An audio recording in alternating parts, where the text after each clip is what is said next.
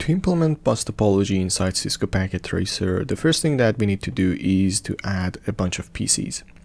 So one way is to just click on the computer and add it to the screen one by one. Or the other way that I prefer is to hold control and click on the PC.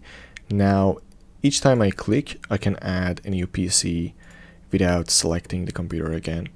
Now let's deselect it and in order to connect these PCs together with a single line, we need to add a bunch of switches. So control click on the switch and add a switch for each pair of PCs.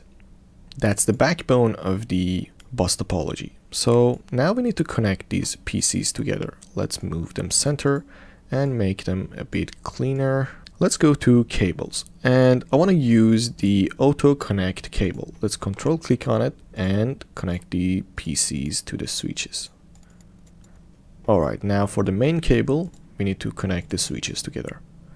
As you can see here from computer to switch, it is using the copper straight cable, but from switch to switch, it is using copper crossover cable.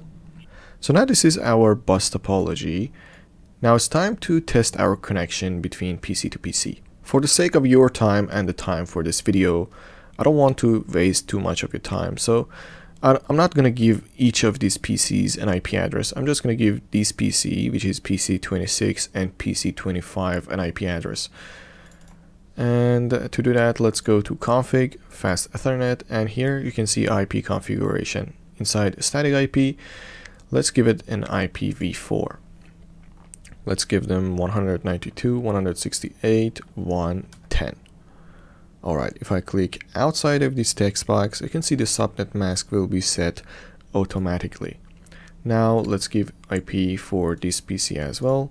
Go to config, fast ethernet, and here IP configuration.